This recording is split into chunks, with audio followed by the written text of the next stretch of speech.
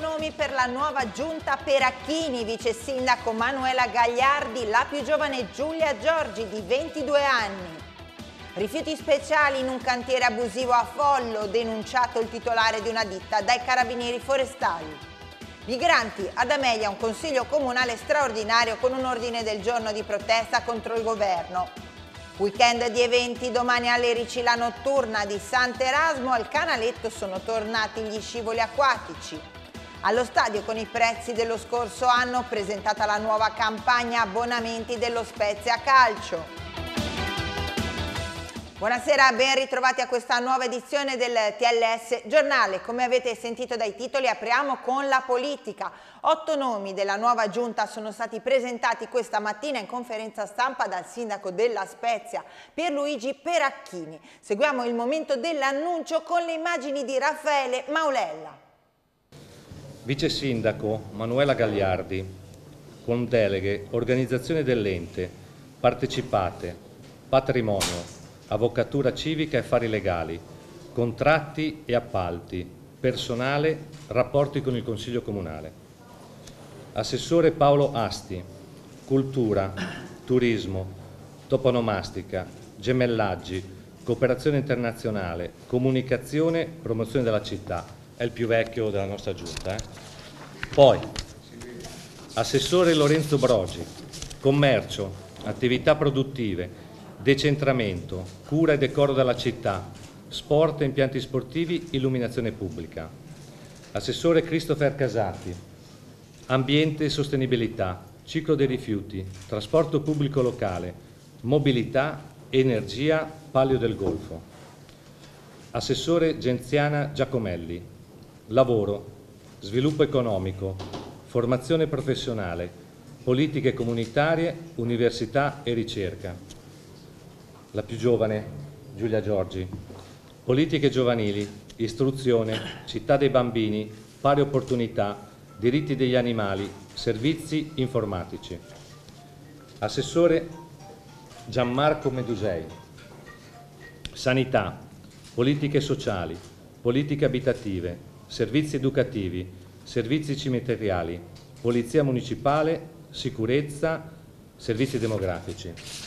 Luca Piaggi, infrastrutture, protezione civile, lavori pubblici, manutenzione, difesa del suolo, progetti speciali. Riservo a me stesso nelle, nelle indicazioni che vi ho dato prima, bilancio, pianificazione territoriale, edilizia territoriale, partecipazione, trasparenza e segreteria generale. Eh, il nono assessore lo nominerò nelle prossime 24-36 ore e sarà una donna eh, in quota Fratelli d'Italia. Scopriamo nel dettaglio chi sono gli otto membri della giunta Peracchini nel servizio di Laura Ivani con le immagini di Raffaele Maulella. Otto nomi su nove presentati per la giunta Peracchini che si tinge di rosa con la prima vice sindaco donna. Manuela Gagliardi, eletta con la lista Toti, oltre a diventare il braccio destro del nuovo sindaco, avrà le deleghe a partecipate, patrimonio, contratti e appalti. Beh, una grande soddisfazione, eh, sicuramente metterò tutto il mio impegno sia per naturalmente valorizzare la figura femminile e comunque per valorizzare il ruolo che mi è stato assegnato. Lei ha la sua prima esperienza amministrativa, ha un modello che seguirà? Beh, prima esperienza amministrativa, il modello lo costruiremo insieme, siamo una squadra giovane, preparata e con un grande capitano. Spicca la presenza di tre assessori pescati dalla lista della Lega Nord. Lorenzo Brogi, consigliere comunale sino al 2012, si occuperà di commercio, attività produttive, decentramento, sport a Gianmarco Medusei, ufficiale medico della Marina Militare, candidato alle elezioni regionali del 2010 con l'UDC e poi passato al Carroccio, le deleghe a sanità, polizia municipale e sicurezza. Ha solo 22 anni Giulia Giorgi, che avrà a che fare con politiche giovanili, istruzione, città dei bambini, pari opportunità. Prima esperienza amministrativa per te, come la vivi? Ma la vivo bene, bene, sono contenta e sono contenta soprattutto del fatto che finalmente i giovani spezzini avranno un referente comunque in giunta comunale all'interno di questo palazzo che sinceramente per troppo tempo siamo stati abbandonati da, da, tutto. Quindi io questo vorrei diventare un punto di riferimento proprio per le politiche giovanili, per, per i ragazzi. Ecco. Dopo la Gagliardi, un altro nome in giunta della lista Toti è quello di Luca Piaggi, geologo, a cui vanno infrastrutture, protezione civile e lavori pubblici. In giunta anche Christopher Casati, ex vice sindaco di Follo di Liguria Popolare, che si occuperà di ambiente, ciclo dei rifiuti, trasporto pubblico, palio del Golfo. Paolo Asti, giornalista con esperienze sia come consigliere comunale sia provinciale, un incarico tecnico per occuparsi di cultura, turismo, comunicazione e promozione. Esterno anche l'assessore Genziana Giacomelli, direttore della Scuola Nazionale Trasporti e Logistica, a cui vanno lavoro, sviluppo economico, università e ricerca. Peracchini tiene per sé al momento bilancio, pianificazione territoriale, edilizia, partecipazione. Manca il nono nome che entro le prossime ore sarà scelto in seno a Fratelli d'Italia e di certo sarà una donna. Il sindaco Peracchini ha spiegato con quali criteri ha scelto la sua squadra. Per il presidente del Consiglio Comunale ha detto si va verso la condivisione di un nome con le minoranze. Lo sentiamo al microfono di Laura Ivani e le immagini sono di Raffaele Maulella presentata questa mattina la nuova giunta comunale, manca ancora un nome, però intanto ci sono otto nomi di otto nuovi assessori, perché sono stati scelti, quali sono le deleghe di maggior peso? Sì, semplicemente sono partito dalla legge che prevede dei criteri sia in termini numerici, massimo 9 per la nostra città, sia in termini di genere e che quindi al massimo prevederà 5 uomini e 4 donne, quindi la nona persona che farà l'assessore lo sceglierò entro 48 ore da una terna che mi è stata data dai Fratelli d'Italia gli altri criteri che ho utilizzato chiaramente sono le competenze professionali in base all'attività che noi dobbiamo svolgere nei prossimi anni e anche l'appartenenza politica perché al primo turno c'è stato un risultato che quindi è giusto rispettare. C'è una caratteristica, c'è una vice sindaco donna e poi ha eh, tenuto per lei una delega importante come quella del bilancio, come mai? Sì, innanzitutto la prima, per la prima volta la Spezia ha un vice sindaco donna ed è un segnale a cui io tenevo particolarmente per dare veramente eh, un tocco particolare a un'amministrazione nuova e che quindi doveva assolutamente cambiare anche questa tradizione e per quanto riguarda il bilancio ho tenuto questa delega in questa fase proprio per verificare prima i conti con la revisione dei conti e poi valutare se darlo oppure no. Si dovrà parlare anche del futuro Presidente del Consiglio Comunale e di altre, insomma di eh, imbastire il lavoro, eh, come vi muoverete? Beh, innanzitutto cercherò una condivisione eh, con l'opposizione per far sì che il, il, gruppo istituzionale, il Presidente del Consiglio e i due vicepresidenti del Consiglio che devono essere eletti nella prima seduta del 14 luglio, eh, possibilmente vorrei condividerli per dare un segnale di unità comunque alla città, ognuno col proprio ruolo chiaramente, però sarebbe un bel segnale dal punto di vista istituzionale, quindi nelle prossime ore vedremo di fare questa verifica e poi decideremo. Si è parlato di partecipate nelle prime ore della sua elezione, a che punto siamo? Ci sono delle novità? Sì, nelle prossime ore verificheremo eh, le procedure per eh, addivenire alle sostituzioni che riterremo più opportune in base alle situazioni delle varie società, quindi incontreremo anche i vari amministratori delegati e presidenti e a quel punto procedere con le nuove nomine, se dobbiamo procedere a nuove nomine proprio nel tema dell'ultima domanda posta da Laura Ivani al nostro sindaco Peracchini. Il nuovo sindaco ci convochi subito per discutere di Maris e delle società partecipate. Così Matteo Bellegoni, segretario generale della Camera del Lavoro della Spezia, che continua. Il contesto politico è cambiato e vogliamo conoscere da Peracchini che scelte intende fare su Maris e le altre partecipate appunto del Comune della Spezia. È avvenuta una rottura sentimentale che ha portato una vasta area politica a non sentirsi più rappresentata. È il commento dell'ex sindaco della Spezia, Giorgio Pagano, alla debacle delle sinistre alle elezioni amministrative spezzine. La disfatta ha ragioni anche locali. Una classe dirigente esangue, povera idealmente, serragliata in un cerchio ristretto, autocelebrativa ma in realtà incapace di delineare una visione condivisa del futuro della città, litigiosa e arrogante. Migrante. Il 55% ha scelto l'astensione, un dato drammatico, delegittimante per tutti. Per Acchini, volto per bene di una maggioranza spesso estremista, è il compito di governare sapendo che gode del consenso solo di un quarto degli elettori. Partecipazione deve essere quindi la sua parola chiave. Nell'altro campo ci sono macerie, non si tratta di unire la vecchia sinistra, ma di far rinascere una sinistra che non c'è più. Si può tentare di farlo solo dando vita ad un nuovo progetto civico che stia dalla parte dei più deboli e proponga nuove idee e strumenti di governo partecipato, conclude l'ex primo cittadino della Spezia.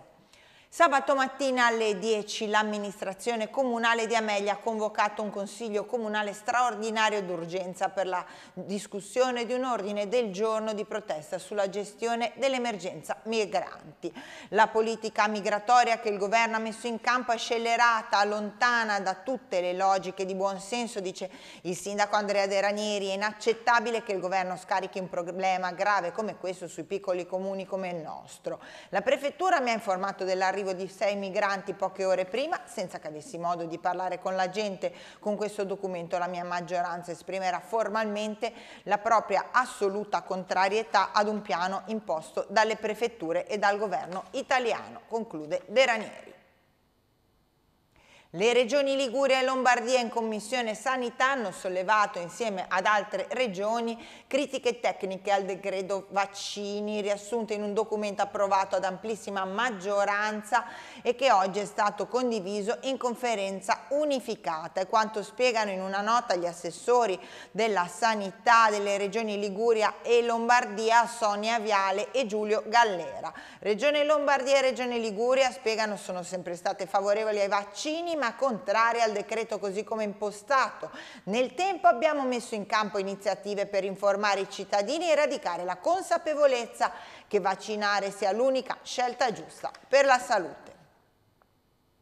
Lavori abusivi in un'area di 10.000 metri quadrati in zona parco con rifiuti, con materiali di riporto riconducibili ad aggregati riciclati di rifiuti speciali. Li hanno scoperti i mulini di sotto a Follo i carabinieri forestali che hanno denunciato il titolare 61enne di una ditta per i reati relativi alla gestione di rifiuti, occupazione di terreno demaniale e realizzazione di opere su beni paesaggistici vincolati all'interno del parco di Monte Marcello, Magra Vara e in zona SIC, sito di interesse comunitario. L'area di cantiere è stata sequestrata a fini preventivi e probatori, così come i mezzi meccanici utilizzati per spianare i rifiuti. Il distretto Ligure delle tecnologie marine prosegue nella sua attività di sostegno alla ricerca e alla formazione di alto livello europeo e internazionale. Vediamo il servizio. DLTM grazie all'acquisto di un'innovativa infrastruttura di calcolo eh, attualmente può mettere a disposizione per tutte le aziende, in particolar modo per le PMI che hanno maggior necessità di accedere a risorse complesse e altamente performanti, tutto un insieme di suite di software per tutta la parte di simulazioni fluidodinamiche, idrodinamiche strutturali, questo all'interno di, di, un laboratorio che noi chiamiamo laboratorio nave che dà supporto a chi ha necessità di fare progettazioni avanzate. E poi infrastrutture e, e sistemi cloud, quindi e virtualizzazioni, sistemi che permettono di venire incontro a qualsiasi esigenza che le piccole aziende vogliono avere per l'analisi dei dati, la gestione dei propri dati, gestione dei propri applicativi, tutto attraverso un'infrastruttura dedicata e altamente affidabile, performante, che segue ovviamente tutti tutte le, le, le, regole della privacy e della sicurezza che al giorno d'oggi sono fondamentali. Il DLTM anche nell'area formazione promuove la sinergia tra i propri soci e i testimoni eccellenti per la condivisione delle conoscenze e delle competenze per creazione di percorsi formativi eh, sempre in linea con quelle che sono le esigenze del mercato. Attualmente stiamo anche rivolgendosi all'internazionale e eh, attraverso la creazione di un progetto eh, molto ambizioso ambizioso che è il progetto della Scuola Internazionale di Tecnologie Marine che conta attualmente eh, 26 partner provenienti da tutta Europa. È un ambito di condivisione delle competenze e delle conoscenze per eh, progettare, per internazionalizzare i percorsi di alta formazione, per permettere ai giovani di eh, poter accedere eh, ad una formazione internazionale potendo acquisire competenze spendibili anche a livello europeo e internazionale. Il distretto conta tantissimo sull'aspetto legato alla progettualità europea e all'internazionalizzazione, che si traduce in due aspetti. La partecipazione da una parte diretta del distretto a progetti europei per poter creare delle opportunità di finanziamento anche per le piccole e medie imprese, delle opportunità anche di ricerca e sviluppo, e una progettualità mirata proprio alla partecipazione diretta dei suoi soci delle piccole e medie imprese all'interno di contesti di più ampio respiro, oltre quello regionale. È quindi eh, in questo contesto che si inserisce anche la partecipazione al progetto Clipper, è un progetto eh, del quale il DLTM è partner che è proprio mirato ad aumentare e a migliorare gli strumenti regionali, le policy regionali per aumentare la competitività delle piccole e medie imprese. Il centro di ossigenoterapia iperbarica del Comando Subacquei ed Incursori COMSUBIN della Marina Militare è stato attivato nei giorni scorsi dai medici del pronto soccorso dell'ospedale Sant'Andrea per trattare in emergenza con l'ossigenoterapia iperbarica un giovane operatore tecnico subacqueo civile affetto da patologia da decompressione, un trattamento che è risultato indispensabile per salvare la vita all'interessato. La camera di decompressione del COMSUBIN è disponibile disponibile dal 20 settembre 2016 per i pazienti civili della provincia spezzina grazie alla convenzione tra la Marina Militare e l'ASL Sanitaria, azienda sanitaria locale numero 5. Un altro passo avanti per il comune di Levanto nel riconoscimento dell'efficacia del sistema di gestione ambientale. L'ente Rivierasco, già certificato ISO 14001 dal 2010, ha conquistato la registrazione EMAS. Il provvedimento è stato rilasciato nei giorni scorsi dall'ISPRA, l'Istituto Superiore per la Protezione e la Ricerca Ambientale. Un ulteriore tassello verso l'ulteriore sviluppo di un'economia blu e verde che, mettendo in sinergia mare e colline, rappresenta un valore aggiunto, ha commentato il sindaco Ilario Agata. Sabato sarà stipulato l'accordo di collaborazione per i prossimi tre anni tra il Parco Nazionale delle Cinque Terre e il CAI. Lo scopo della convenzione è quello di riconoscere al CAI un ruolo di protezione delle risorse naturali che ricadono nel territorio, mantenere un continuo aggiornamento sulle problematiche derivanti dall'alta frequentazione ed effettuare il monitoraggio dello stato dei ricoveri esistenti nel territorio. Un weekend ricco di iniziative nel comune di Lerici, domani la notturna di Sant'Erasmo e sabato la Tana dei Turchi a San Terenzo. Necessarie alcune modifiche alla viabilità. Vediamo il servizio di Selene Ricco, le immagini sono di Davide Morina. Sarà un weekend particolarmente animato, quello che riguarderà San Terenzo, Lerici, la notturna di Sant'Erasmo e la Tana dei Turchi. Assolutamente sì, questo venerdì 7 avremo la notturna di Sant'Erasmo che è giunta alla sua terza edizione, una gara podistica competitiva che fa parte del circuito Corri Lunigiana ehm, che toccherà il lungomare di Lerici San Terenzo per poi snodarsi nelle nostre colline con un percorso di circa 10 km. È una manifestazione che assume sempre più importanza, l'anno scorso abbiamo superato i 300 iscritti e quest'anno speriamo di superare i 400. Invece sabato avremo la famosa rievocazione storica della Tana dei Turchi, arrivata alla sua tredicesima edizione, molto bella, verrà chiuso tutto il centro storico, verrà totalmente pedonalizzato, si chiuderà il traffico veicolare dalle 19 alle 24 e si attende questo sbarco dei turchi via mare e questa famosa battaglia e la difesa dei santerenzini per il loro territorio. Si concluderà tutto a fine serata con uno spettacolo pirotecnico al castello di San Terenzo. Un evento, quello della Tana dei Turchi, giunto alla tredicesima edizione dietro un'importante organizzazione per realizzarlo. Io colgo l'occasione, se posso, eh, ringraziare gli organizzatori della Tana dei Turchi che, ripeto, è arrivata la tredicesima edizione ed è una manifestazione che impegna molto a livello organizzativo in termini di risorse e in termini di tempo e mh, è organizzata in toto dalla Proloco di San Terenzo. Continuiamo a parlare di cultura, spettacoli e appuntamenti. Dall'8 luglio all'8 ottobre si terrà alla Torre del Castello dei Vescovi di Luni di Castelnuovo Magra la mostra Bruce Chatwin, il viaggio continua, organizzato dal Comune di Castelnuovo Magra in collaborazione con l'associazione Chatwin. L'esposizione vuole celebrare lo scrittore, viaggiatore inglese, autore dei libri di culto che 40 anni fa aveva stupito il mondo letterario con il suo primo libro In Patagonia. La mostra, che si articola sui sette livelli della torre, ospita anche immagini in bianco e nero messe a disposizione da Elizabeth Chatwin dal cospicuo archivio conservato presso la University of Oxford. Panariello che verrà è lo spettacolo di Giorgio Panariello al Teatro Civico il 28 ottobre alle 21 ma le cui prevendite partiranno già da mercoledì 12 luglio alle ore 11. Il comico tornerà sul palcoscenico con la sua verve per coinvolgere gli spettatori in un nuovo ed imperdibile spettacolo. Giovanni Allevi, impegnato in questi giorni in tournée in Giappone, è stato operato d'urgenza per un distacco di retina. In riabilitazione per alcuni giorni il compositore sarà costretto a posticipare i suoi, pro i suoi prossimi impegni professionali. La data del 24 luglio di Piazza San Giorgio Alerici è stata posticipata al giorno 4 settembre alle ore 21.30. I biglietti acquistati restano validi, fanno sapere gli organizzatori e qualora se ne volesse richiedere il rimborso ci si potrà rivolgere al rivenditore o circuito utilizzato per l'acquisto.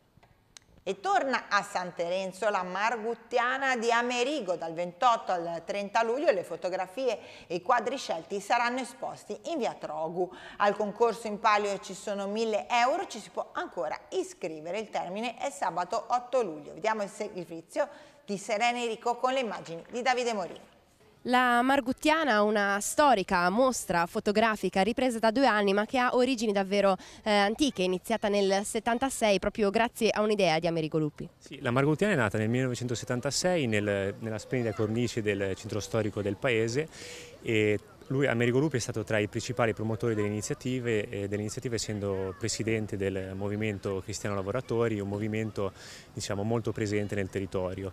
E, diciamo, la particolarità della Marguttiana era di diciamo, dare un'opportunità agli artisti locali eh, di farsi conoscere, animare il centro storico e diciamo, era anche un punto d'incontro tra eh, la comunità locale e diciamo, gli artisti emergenti.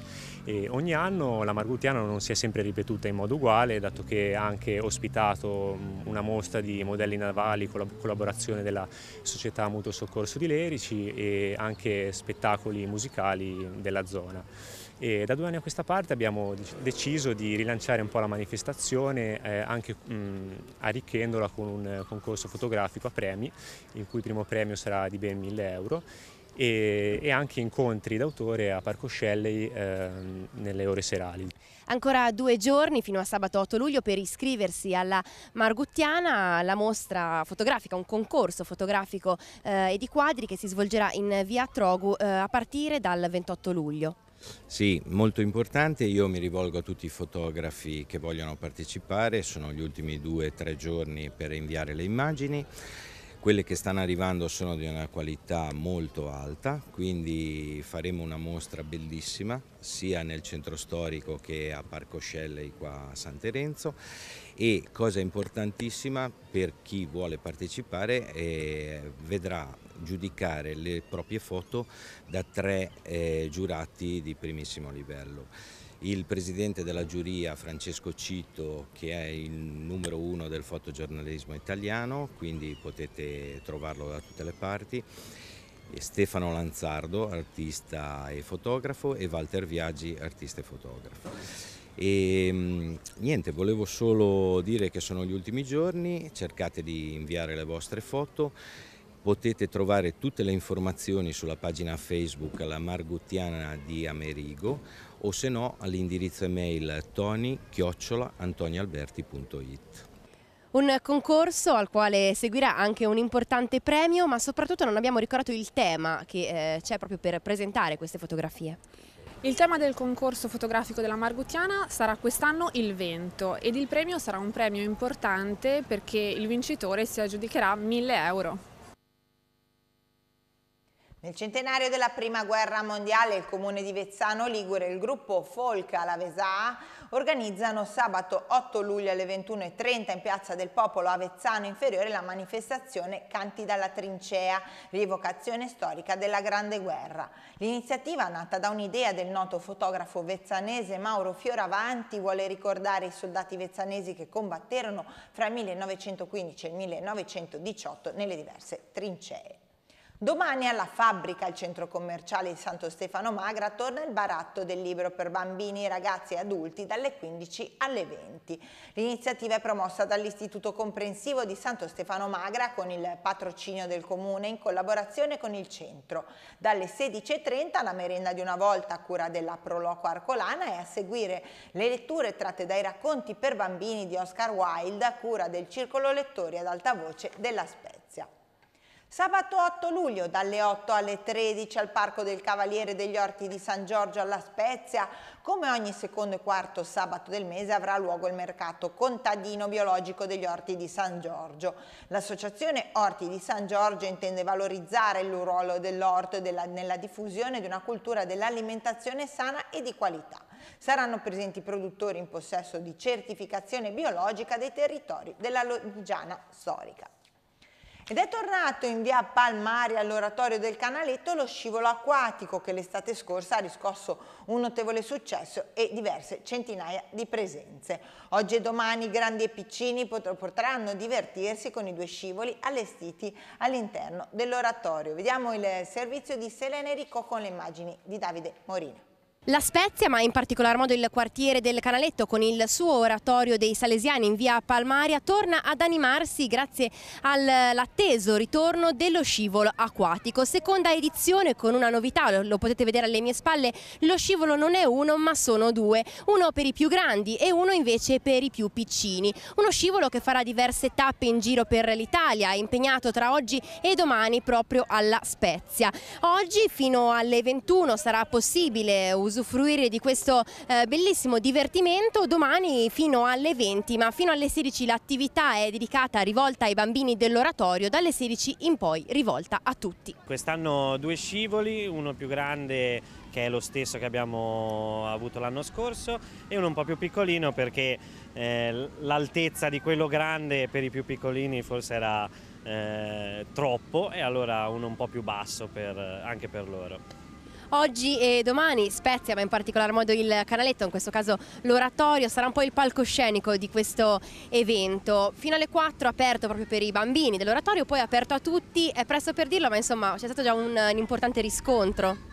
Sì, beh, diciamo che quando qualcosa funziona bene è facile avere dei riscontri. I nostri bimbi del campus sono contentissimi di avere la possibilità di divertirsi tranquilli qua dentro l'oratorio e poi le persone esterne che comunque verranno dopo animeranno un po' la parrocchia, che ogni tanto è bello vedere che sia il centro, il fulcro un po' della città, ogni tanto un po' di ringraziamento anche al posto è consono farlo. Questa è una delle, delle iniziative inserite proprio all'interno delle attività organizzate dal campus estivo, ovviamente non è l'unica, non è la sola. Cosa eh, fate per appunto intrattenere i bambini in questo periodo? Eh, diciamo che nel, nell'arco dei cinque giorni, dal lunedì al venerdì, eh, abbiamo questi 350 ragazzi eh, abbiamo inserito quest'anno due novità, uno che è l'atletica eh, al campo montagna e eh, corsi, un, corso, un, mini corso di rugby eh, insieme ad attività tradizionali come, dan come la danza, come il ballo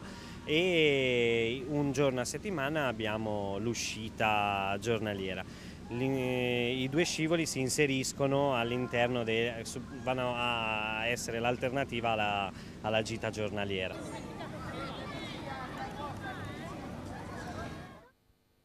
Con una tesi dal titolo Reciprocità dialettica dell'amore cristiano, relatore il professor Antonio Postorino, il nostro collaboratore Diego Bruzzone ha conseguito la sua seconda laurea. Dopo ingegneria è la volta della laurea di primo livello in scienze religiose presso l'Istituto Superiore di Scienze Religiose della Spezia con il voto di 106 su 110. Siamo ora allo sport. Giovanni Soldini e il suo equipaggio di velisti italo-spagnoli a bordo di Maserati Multi 70, primo trimarano oceanico volante del mondo di base alla Spezia, sono pronti per partecipare ad una grande classica della vela d'altura oceanica. La Trans-Pacific Yacht Race in partenza oggi da Los Angeles in California con arrivo a Honolulu nelle Hawaii. 2.225 miglia che vedono al via alle 13.30 locali di oggi, le 22.30 italiane, accanto al trimarano italiano altri quattro multiscafi. Presentata oggi la nuova campagna abbonamenti dello Spezia Calcio, prezzi invariati per i tifosi più fedeli, perché Spezia è questa il claim prescelto e la fase di prelazione prenderà il via lunedì 10 luglio. Ce ne parla Selene Ricco.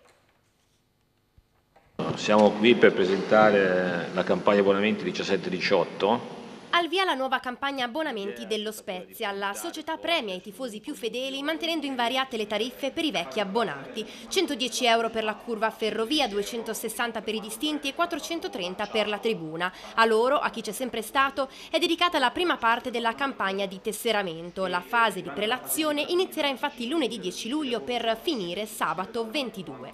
La fase di vendita libera si svolgerà invece dal 25 luglio al 25 agosto. Prezzi competitivi tra i più bassi delle varie società di serie B anche in questo caso. L'abbonamento in curva ferrovia costerà 120 euro, i distinti 280 e la tribuna 450. Confermate anche diverse promozioni. Per gli under 14 l'abbonamento costerà 20 euro in qualsiasi settore. Per le donne, per i giovani tra i 15 e i 18 anni e per gli over 65 il prezzo è invece dimezzato rispetto a quello indicato per la vendita libera, quindi 60, 140 e 225 euro euro a seconda del settore.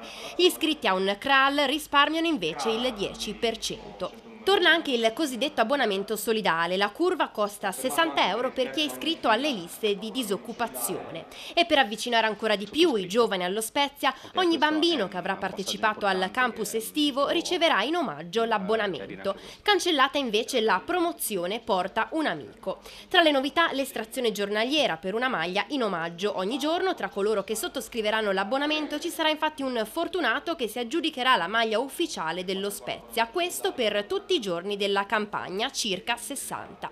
A livello comunicativo la campagna di quest'anno si abbinerà ai luoghi della città grazie agli scatti del fotografo Alberto Andreani. Una cartolina che recita perché questa è Spezia, dove oltre ad un paesaggio caratteristico della Spezia e prossimamente saranno coinvolti anche i quartieri, ci sarà un giocatore di spalle con indosso la maglia ufficiale del centenario con il numero 12 a indicare il dodicesimo uomo in campo. Siamo ora in chiusura con le previsioni del tempo per la giornata di domani.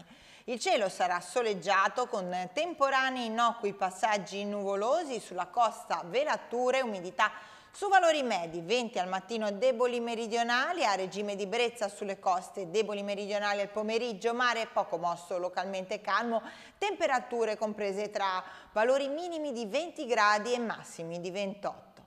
Con il Mete è tutto, grazie per averci seguito anche questa sera, vi auguriamo una felice serata. Arrivederci.